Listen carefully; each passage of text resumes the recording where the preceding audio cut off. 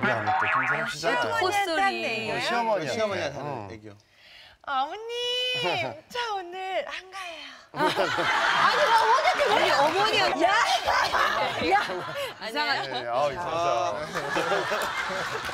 어떻게 아니 결혼하셨으니까 저한테 좀 가르쳐 주세요. 저도 아, 배워야죠. 아니 저는 이제 장모님 이렇게 딱 만나서 정말 뭐 열심히 살겠다고 이렇게 얘기했더니 장모님이 딱 얘기하더라. 야 왜 하필 우리 딸이냐?